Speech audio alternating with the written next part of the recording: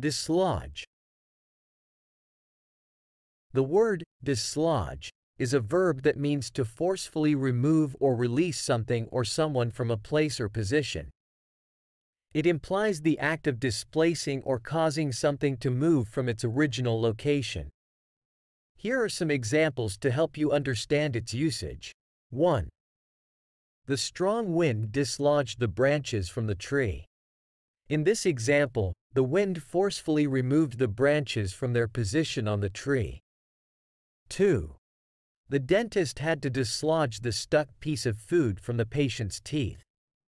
Here, the dentist needed to remove the food that was stuck between the patient's teeth. 3. The protesters tried to dislodge the dictator from power. This sentence suggests that the protesters aimed to forcefully remove the dictator from their position of authority.